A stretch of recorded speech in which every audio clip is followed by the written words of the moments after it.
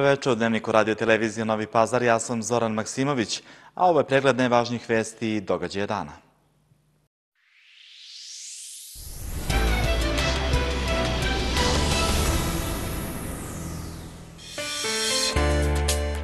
Dosadašnji član gradskog veća Novog pazara Enes Buhić imenovan za državnog sekretara u Ministarstvu građevinarstva, saobraćaja i infrastrukture. Završeno online glasanje za projekte koji će biti finansirani iz gradskog budžeta naredne godine. Obeležen Međunarodni dan ljudskih prava završnicom kampanje 16 dana aktivizma. Rukometaši Novog pazara dočekuju ekipu železničara u utakmici 11. kola B grupe Arkus Lige. U petak kišovito na planinama sa snegom, temperatura u Novom pazaru do 5 stepeni.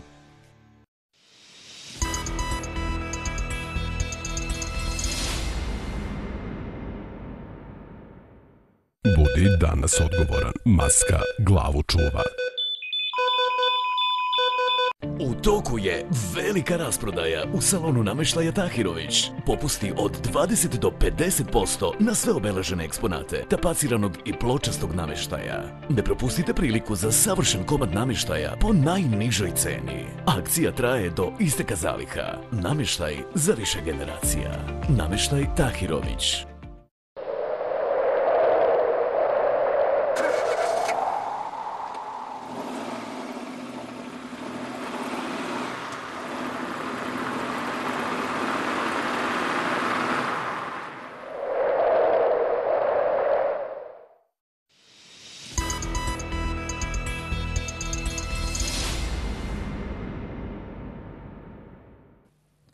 Na današnjoj sednici vlade Republike Srbije dosadašnji član gradskog veća Novog pazara, Enes Buhić, imenovan je za državnog sekretara u Ministarstvu građevinarstva, saobraćaja i infrastrukture.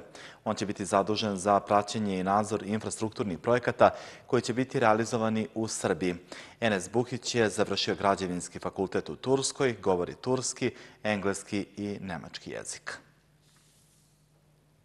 Osnivanje Fonda za pomoć u lečenju dece sa redkim bolestima projekat je koji je dobio najviše glasova novopazaraca među sedam ponuđenih koji će se finansirati iz gradskog budžeta naredne godine. Po broju osvojenih glasova na drugom mjestu je korićenje Trnavice. Oba projekta su sada u nacrtu budžeta za 2021. godinu. S obzirom na činjenicu da je Novi Pazar najmlađi grad u Evropi, ne čudi iskazana volja građana da jedan od prioritetnih projekata za narednu godinu bude upravo osnivanje fonda za pomoć u lečenju dece sa redkim bolestima. Taj projekat je imao ubedljivo najveće duplo više glasova nego e, drugi projekat koji je bio e, korišćenje reke Trnavice. Oba su ušla u e, nacrt e, odluke o budžetu za 2021. godinu, a ovo je druga godina kako grad Novi Pazar organizuje glasanje građana za projekte koji će se finansirati iz gradskog budžeta. Nažalost, ove godine smo imali samo online anketu i hiljadu, oko 1500 e, naših građana se, e, e, se izjasnilo o projektima koje žele da budu finansirani. Na drugom mestu po osvojenom broju glasova Novopazaraca je korićenje Trnavice. Prema rečima glavnog gradskog urbaniste Suata Ljajića, u toku je izrada projektne dokumentacije, što je i preduslov za izdavanje građevinske dozvole za realizaciju takvog projekta.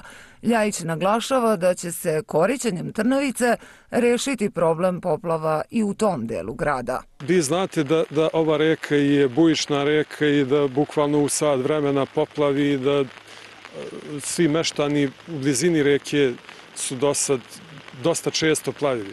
Znači, e, grad Novi Pazar zajedno sa preduzećem Srbija vode planira da neki 3 km i 600 metara e, ukoriti ovaj deo reke.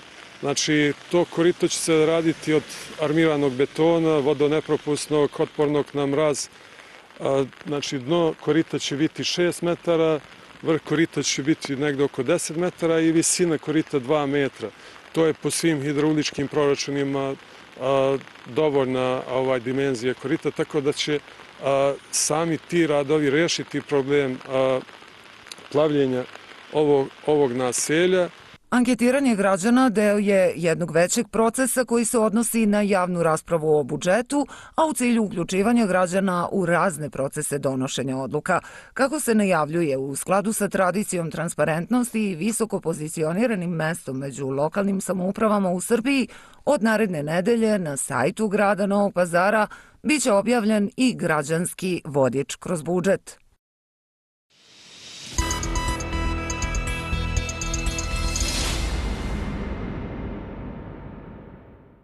Radnike gradske čistoće danas su obišli iz humanitarne organizacije Put sredine. Cilj im je da ovim ljudima zahvale za sve što čine za lepši i čistiji Novi pazar. Ja sam se Nada Kalić i u večerašnjem dnevniku govorim vam više o ciljevima ove akcije. Zaposleni u Zavodu za javno zdravlje rade u tri smene, jer svake večeri nakon 20 sati prikupljaju i pakuju uzorke testova na COVID-19 iz COVID ambulanti i privatnih laboratorija iz Novog pazara i Tutina. Kad se sve prikupi i unese u kompjuter, uzorci se šalju u laboratoriju Vatreno oko u Beogradu. Svakodnevno u ranim jutarnjim satima put Beograda iz Novog pazara kreću uzorci sa testiranja na koronavirus iz Zavoda za javno zdravlje i COVID ambulanti. Pre toga, svake večeri, oni se prikupljaju, unose kompjutere, pakuju za slanje. Od pre 20 dana, da bi sve ovo bilo efikasnije i brže, uveli smo, znači, tu mi je zovemo treću smenu, znači rad od 20 časova pa do kad se završi, neka to bude 23-24 pa i pređemo ovaj ponoć. E, pokupa se, pošto COVID ambulanta radi do 22 sata, pokupe se znači, svi uzorci koji su se uzorkovali od dva kad prestane zav, znači, druga smena, uzmu se svi, pokupe se svi uzorci iz opšte bolnice sa infektivnog odljenja, dečijeg odljenja, nešto što se uzorkovalo posle podne, da ne bi to ostajalo za sutra, da bi kompletirali ceo dan i šalje se, rekla sam vam, u pet ujutru, ovaj, svakog dana, znači, put Beograda i posle 16 časova dobiju se prvi rezultati. Trenutna epidemiološka situacija u Novom pazaru je i dalje nestabilna i nesigurna, ali još uvek pod kontrolom. Mada, kako kaže port parolka Zavoda Majda Iković, od poštovanja mera zavisi da li će se opet dogoditi julski scenario. E, posmatrujući epidemiološku situaciju sa više aspekata, znači mi danas kao i svakog e, našeg pojavljivanja govorimo da ona zaista nesigurna i nestabilna i ovaj, to ponavljamo i ponavljat ćemo sve dok e, se taj broj novozaraženih svede na minimum. E, nije nije ovaj, kao ona u junu, julu, ne daj Bože, ali ipak e, ova teritorija nije pusto ostrvo, e, napušteno ostrvo, tako da, da neće stići ponovo, da ne može stići ponovo nešto do nas, znači može nam se ponovati, a to sve zavisi od nas samih i od naše odgovornosti. Iako ne pripadaju teritorijalno Novopazarskom zavodu, veliki broj pacijenata je iz Raške, koji osim što se testiraju u Novom pazaru, bivaju ovde i hospitalizovani. Iako Raška pripada Zavodu za javno zdravlje Kraljevo, svu ulogu je uglavnom preuzeo naš zavod i e, opština i opšta bolnica i naše COVID ambulante. E, ima dosta zaraženih iz Raške, ima dosta pacijenata koji leže u opštoj bolnici također iz Raške, znači skoro je bilo više bilo e, pacijenata iz Raške nego iz Novog pazara. Znači tamo je malo sad skok tih e, novoobolih u odnosu na prethodni period. Eh, juče su eh, naš direktor Zavoda za javno zdravlje i gradonačelnik Novog pazara također bili u poseti ovaj predsjedniku opštine Raška i direktoru Doma zdravlja. Eh, oni su inače bratimljene opštine, zadovoljni su i mi smo uzeli taj ovaj teret na svoja leđa. Znači, zbrinući se taj narod, bez obzira što ne pripada, ovaj, ne pripada nama zvanično na papiru, Eh, daj Bože samo da se ovo završi, pa sad nijedan pacijent neće biti vraćen kući odakle god da je.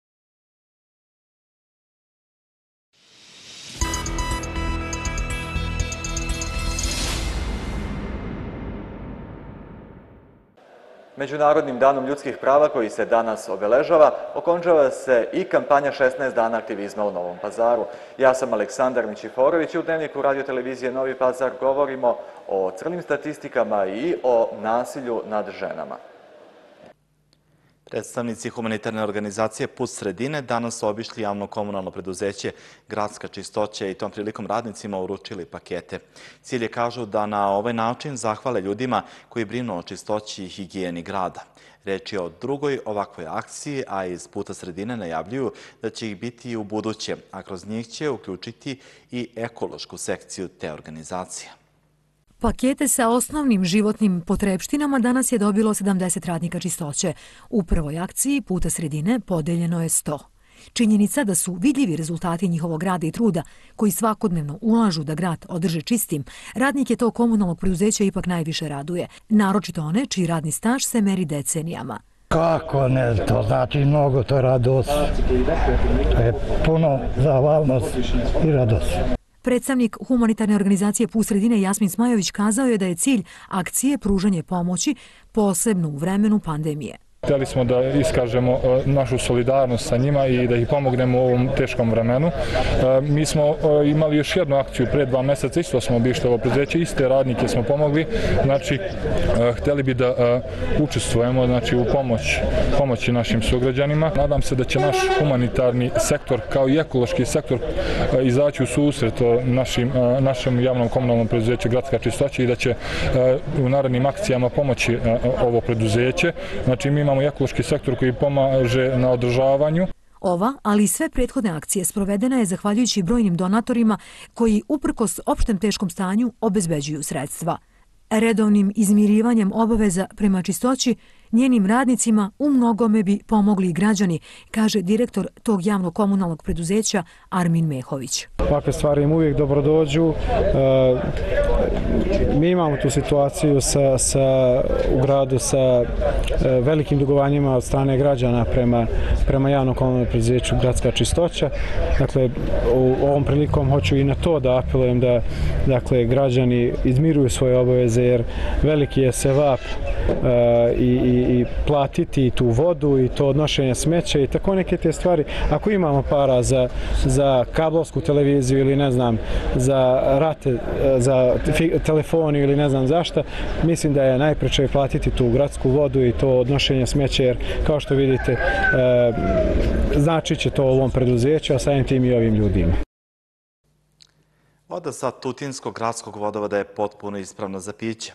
Pokazuju najnoviji rezultati analiza koje sprovodi Zavod za javno zdravlje iz Kraljeva. Ekipa ovog zavoda danas je obavila redovno uzorkovanje i, kako kažu, voda koja se distribuira građanima je izuzetno dobro kvaliteta. Pitanje kvaliteta vode kojom se snabdijevaju mještani Tutina trajno je riješeno izgradnjom modernog filterskog postrojenja. Na kvalitet vode sa gradskog vodovoda mogu da utiču eventualno kvarovi, a posljednji je otklonjen sredinom marta mjeseca, nakon čega su građani Tutina konstantno dobijali kvalitetnu i ispravnu pijaću vodu u dovoljnim količinama i bez restrikcija.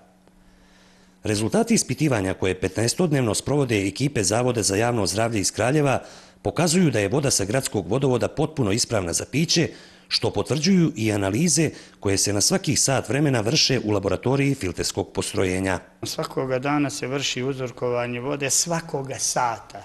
Znači 24 sata, 24 puta dnevno se vrši uzorkovanje vode na, u laboratoriji na filterskom postrojenju. Što znači to mogu, ako je to toliko građanima interesantno, mogu da se prijavi da, da dođu tu uz određenu pratnju da ovaj provere da imaju uvid ovaj, u sveskama, u papirima koji su dostupni, a normalno da zavod neće raditi za nikoga od nas, nego će raditi samo ono što je u njihovoj nadležnosti. Mi smo imali i poslije 21. marta ovaj, kontrolu javnog zavoda iz Kragujevca, koji je nismo mi tražili kao firma ili e, nego na osnovu pisama koje su građani dostavljali ministarstvu i svega toga, vlada je od, ovaj, odredila sama je Zavod za javno zdravlje, uzorkovanje voda iz Kragujevca koji su isto tako potvrdili, imaju papirologija kompletna je u firmi, tako da mislim da građani ne bi trebali da strepe. Iz tutinskog postrojenja svake sekunde se u mrežu pusta 83 litra vode, tretiran je najmodernijim procesom filtriranja koji zadovoljava sve predviđene standarde.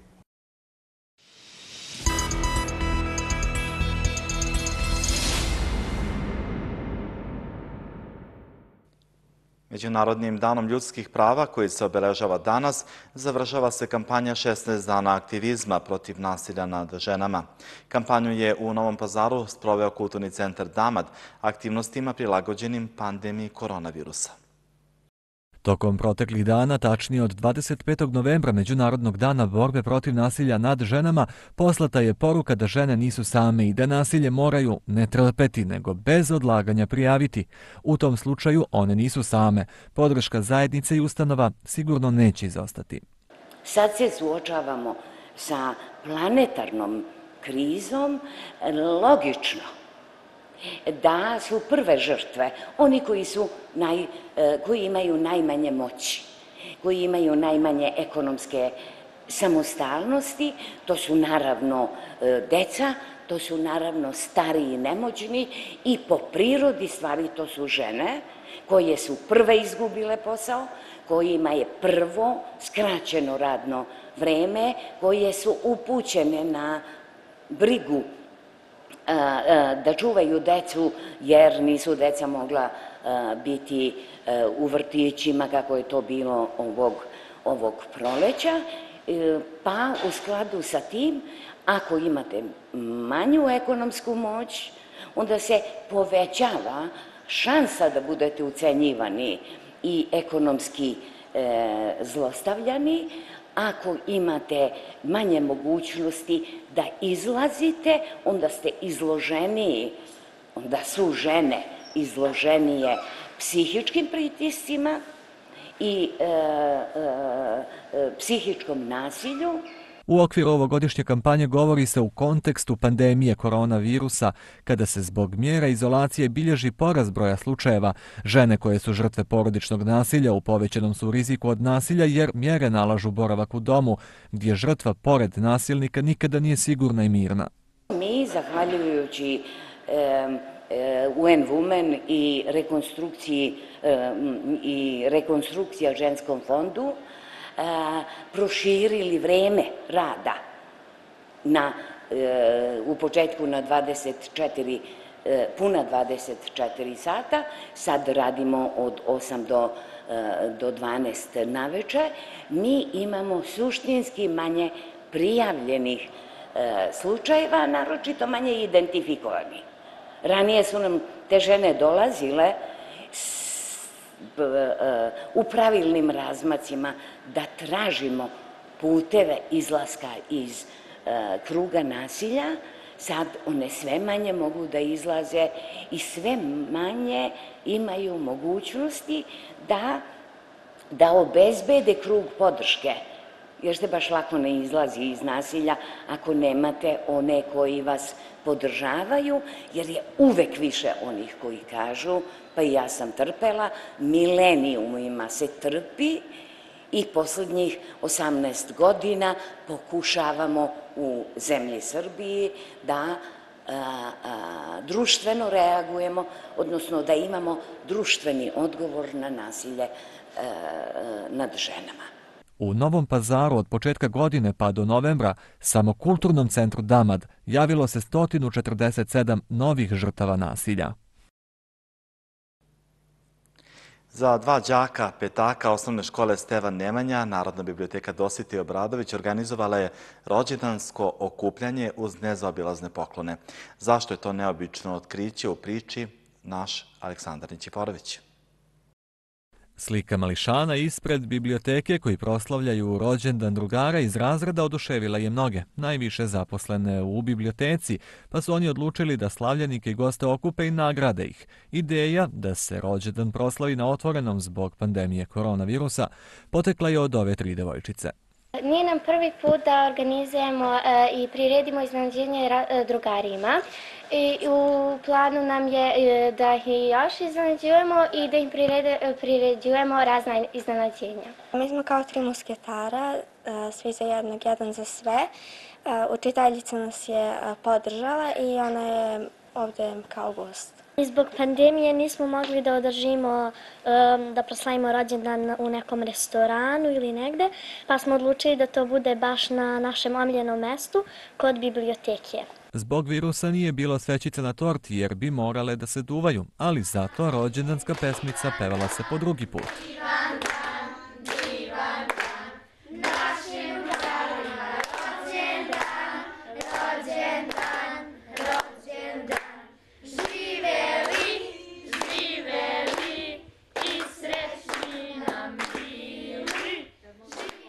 Prijatno sam iznenađena zato što imam e, jako dobri drugari i ovo je za mene za nas bilo ovo veliko iznenađenje.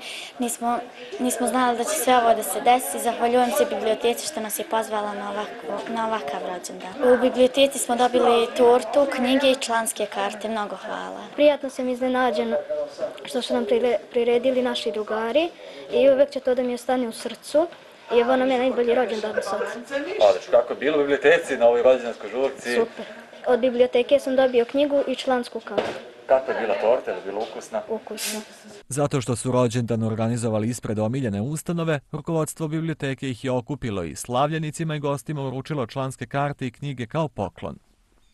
Veoma je interesantno da su ovi mladi ljudi, rekao ovih veliki ljudi, prepoznali i u ovo vreme pandemije virusa, kad nisu mogli da se okupe ni u gradu, ni kod svojih kuća, da su prepoznali eh, biblioteku kao nekakav svoj drugi dom i da su odlučili da proslave rođendan eh, na stepeništu biblioteke. Čim smo saznali za, za to, pošto je bio vikend, odlučili smo da ih pozovemo u biblioteku i da im organizujemo na jedan drugačiji način i taj rođendan i jedno druženje sa bibliotekom i sa bibliotekarima. Svima smo im poklonili knjige u nadi da će oni u budućnosti čitati dosta i da će biti dobri ljudi. Nakon rekonstrukcije, biblioteka je postala omiljeno mesto tinejdžera u gradu. Ovde nastaju najlepše fotografije za društvene mreže. Iz biblioteke osmišljavaju kako da omladinu uvedu u biblioteku i navedu ih da zavole knjigu.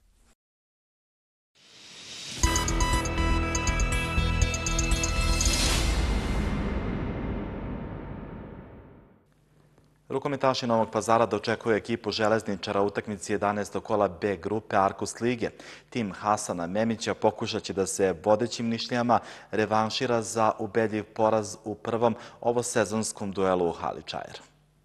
Železničar je lider B grupe Arkus Lige sa 15 bodova, pet više od četvrtoplasiranog Novog pazara.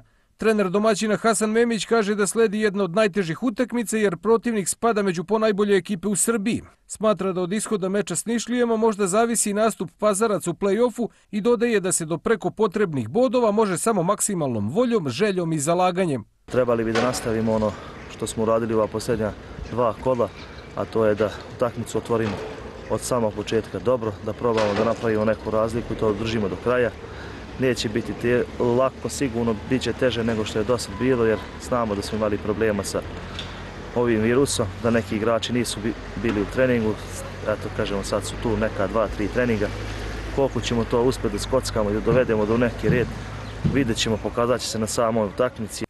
Novi Pazar se u prethodnom meču sa železničarom 1949 u Nišu držao do finiša prvog poluvremena, a onda je prednost rivala neprestano rasla do 37-23 maksimalnih 14 razlike na kraju. Od prvog minuta moramo da imamo kontinuitet. Ne samo da dozvolimo da padamo u igri i da ovaj, dođe do neke situacije da oni naprave neku razliku i da mi jurimo. Baš, baš to treba da bude obratno, da bude na našoj strani. A trebamo da spriječimo isto iz odbrane da, ovaj, tu tranziciju njihovu, taj napad, da, da ne primimo lake golove, da spriječimo ovaj, da dođemo u taj prvi faul, da ne dozvolimo taj laki gol, onda nama ide lakše standard. Novi Pazar i Železničar 1949 igraju u subotu od 19 časova u dvorani Pendik uz direktan prenos na radio televiziji Novi Pazar. Svetsko dvoransko prvenstvo u atletici u kineskom gradu Nanjingu, na kojem je trebalo da učestvuje i novopazara Selzan Bibić, ponovo je odloženo i bit će održano 2023. godine, saopštila je Svetska atletika. Šampionat u Nanjingu planiran je za prošli mart, ali je zbog pandemije koronavirusa pomeren za 12 meseci da bi isti razlozi sada uslovili odlaganje tog takmičenja za 2023. godinu. Bibić je početkom 2020. na dvoranskim mitinzima u Ostrovi Karlsruhe uišao 3.38.94 na 1500 i 7 minuta 45 sekundi i 57 stotinki na 3000 metara, što je znatno bolje od kvalifikacijonih normi za Nanjing, koje iznose 3.40, odnosno 7 minuta i 50 sekundi. Podsjećamo da je Evropska atletika prethodno otkazala ovogodišnje Evropsko prvenstvo u Parizu, dok je Evropsko kros prvenstvo u Dublinu pomereno za decembar 2021. a na oba ta takmičenja trebalo je da nastupi Elzan Bibić.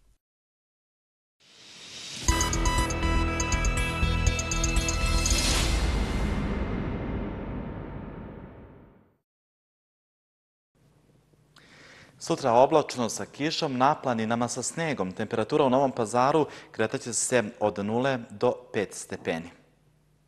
U petak umereno do pretežno oblačno krajem dana na jugu, a u toku večeri i u jugoistočnim i istočnim predelima zemlje očekuje se kiša, na planinama sneg.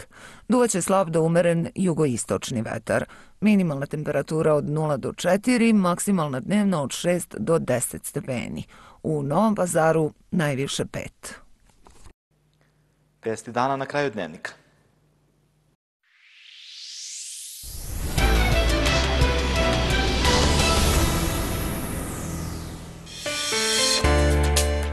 Dosadašnji član gradskog veća Novog pazara Enes Buhić imenovan za državnog sekretara u Ministarstvu građevinarstva, saobraćaja i infrastrukture. Završeno online glasanje za projekte koji će biti finansirani iz gradskog budžeta naredne godine. Obeležen Međunarodni dan ljudskih prava završnicom kampanje 16 dana aktivizma. Rukometaši Novog pazara dočekuju ekipu železničara u utakmici 11. kola B grupe Arkus Lige. U petak kišovito na planinama sa snegom, temperatura u Novom pazaru do 5 stepeni.